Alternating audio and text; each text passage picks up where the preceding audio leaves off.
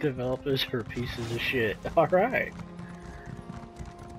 Skill to lays even with two bars.